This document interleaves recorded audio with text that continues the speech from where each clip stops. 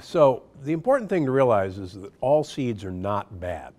A plant actually has many seeds that they want their predator to eat, but they coat their seed with an indigestible coating so that that seed will actually pass through the gut and be deposited away from the plant with a generous dollop of fertilizer.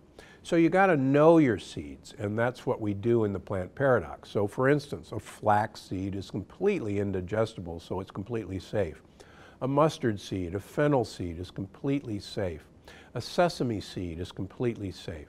So know your seeds. On the other hand, seeds that don't have this coating, like sunflower seeds, chia seeds, pumpkin seeds, are not safe.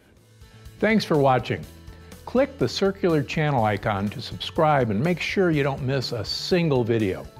Click on the left to watch another great video and don't forget to visit my website for more of my best tips because I'm Dr. Gundry and I'm always looking out for you.